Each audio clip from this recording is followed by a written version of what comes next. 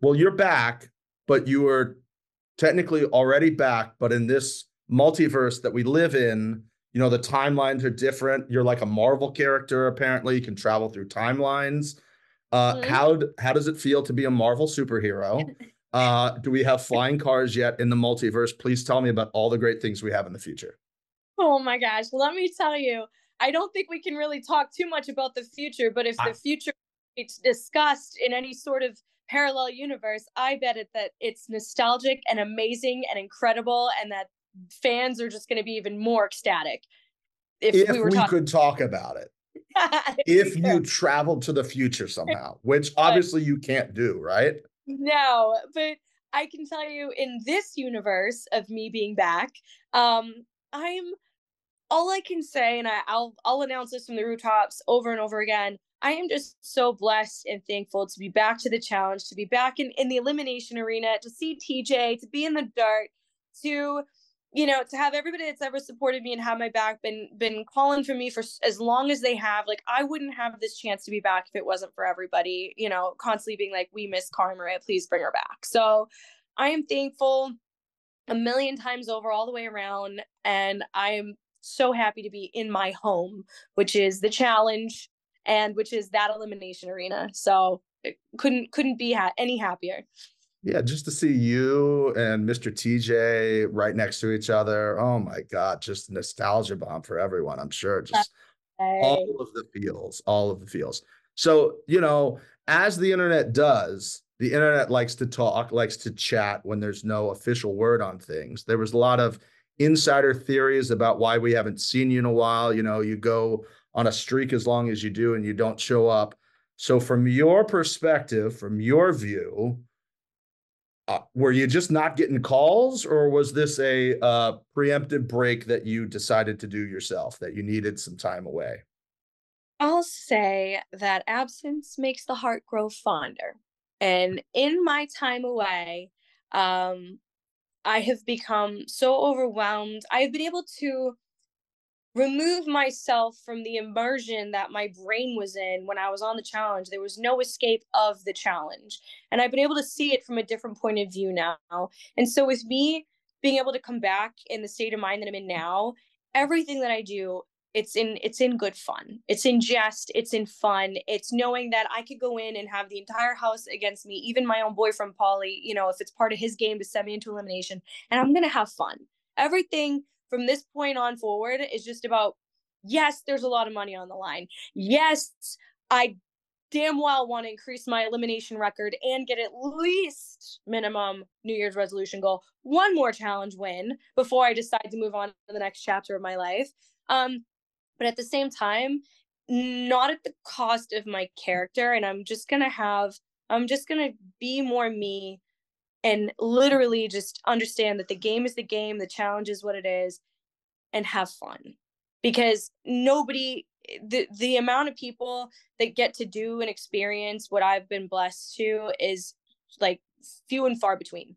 So i'm just thankful honestly to be back. And that time away has given me a time to I feel the universe works in in the ways that it does. And I've I've learned, I've grown, I've um come back mentally 100% different and at least the fans and everybody else has has had some time to cool down, take a step back and be like, "You know what? We asked for the vacation alliance and now that we've gotten it, we were wrong and we miss you." so please come back. So I think all around, I think lots of lessons were learned. Wow. This is this is what we the expect. facts, the facts that are just being thrown at my face right now. I love it. So you were getting calls, confirm or deny. I plead, I think that when it comes to challenge and production, that they work the way they work and no one will ever know. So if you have any specific questions on casting, you should production, not the cast. That's Noted. not my- We will we will delete the next question. That was an immediate follow-up. we'll move on. Let's move on to the current universe we are in, which is ch- uh, Battle for a New Champion. I want to discuss a little bit about the purple jacket, orange shirt of it all. That was Um, not I know. that was a million percent not planned, which is why when you see the uh the the reaction video of me and Darrell, and when I ever saw Laurel go in and say purple jacket, I lost my shit. I was like, no, she didn't. She didn't. Well, that's kind of what I was going to ask you was like, was Mhm. there a sort of like conversation between all of the people that were coming back being like, we're going to go for Michelle? Was it just kind of like the Yeah. way she responded to your question, a combination? you I can throw a million reasons every time like of, of why I'd pick Michelle just because fuck it. Um but it literally all boils down to my one plan was to cause chaos and she was unfortunately the first one in line. And all I wanted to do was because I've done challenges where like everybody says the same name over and over and over again because they're besties and I'm Mhm. like well let's let's fuck up the besties right? Like if you have to call one some there's a totem pole somewhere right? So let's see your cards really was what i was trying to do because doesn't have that isn't that what the viewers want to see? Isn't that what i want to see? Like something you know what i mean? Not babysitter's best friends club right I couldn't agree more. that's all i wanted i wanted somebody standing up there and afterwards Nurys came up to me she goes i was ready to say somebody else's name i don't care and i was like great then i wouldn't have picked you like i just wanted to see somebody else somebody say somebody else's name that you know wasn't the winners or the two that everybody already said Mhm. So if if Michelle would have said a name, would you have kept going down the list to see? Yeah. Or yeah, You, I a thousand percent wanted to see what they were going to say because that, That that was the way you're kind of exposing their game, which is part of it as well, right? Hilarious. Which is uh, on the face of it, great for content for us. You know, because I don't we're obviously you've listened to our show. We're the number one, no big deal. It's obviously what it is.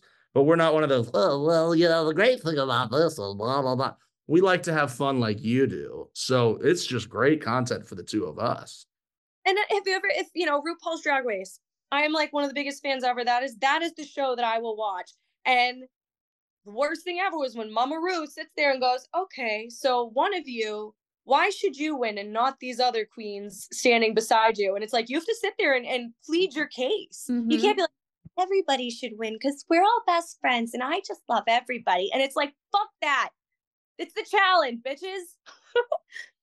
Absolutely. They they should they can kindly ask us for that clip of what you just said, the challenge bitches, and that better be part of the trailer for you know any future timelines in the Marvel universe. you know, Uh, I Yeah. yeah.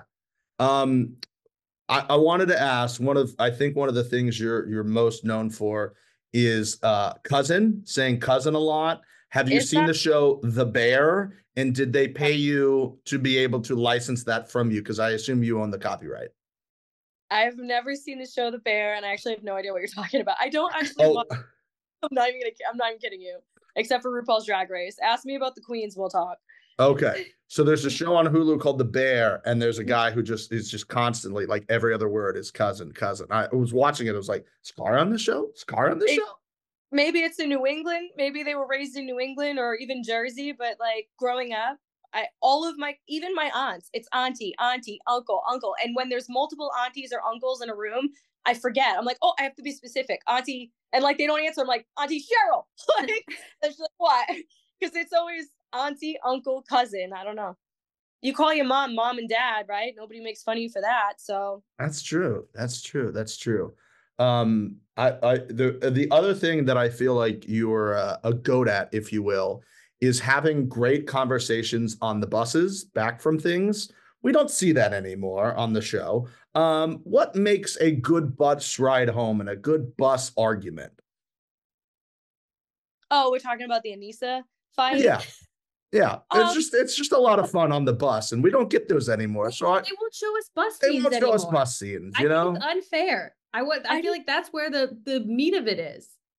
I think I don't even I mean we're going there's so many layers to that I think because of like um we're usually on ice because immediately the bus scenes are usually when when shit just went down and then we're all thrown on the bus and it's like we're sitting there and like we we just either the arguments ensue from what happened earlier or you know the the challenge or the elimination just happened and everybody's got to talk about it and so that's like real and the real authentic in the heat of the moment as opposed to if we have to we hold it all in now and we're like wait we can't wait you know we gotta wait to talk about it you know i Mhm. don't know why that's another production you're asking you need to get like one of the producers on for these questions, my friends, because I don't have the behind the scenes. I'm just in it, in the scene.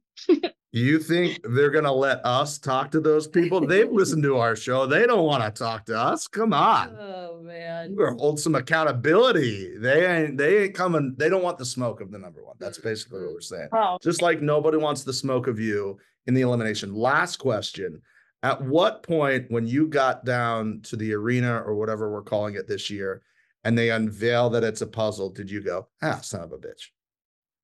You know, I am notoriously, I've said this before, I'm either when it comes to a puzzle, Rain Man, as you know, I can list multiple times of like when I clutch pivotal moments of winning the puzzle against um Johnny and uh his his cousin. Johnny and his cousin on Bloodlines to to make it through. Um when I had that puzzle on um the redemption challenge on Dirty 30 to get back in the house. When I had that puzzle on um War of the Worlds 1 when I had to like solve it on the plane to skip the next challenge and go straight to the final. Like I have won puzzles, ridiculously weird puzzles in clutch moments.